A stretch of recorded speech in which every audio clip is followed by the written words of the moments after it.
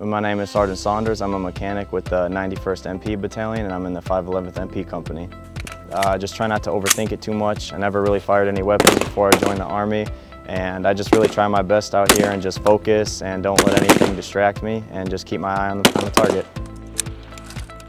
We have to get out here and make sure everybody gets qualified and then once we get back and start working on vehicles, we have to make sure that we buckle down and do what we got to do.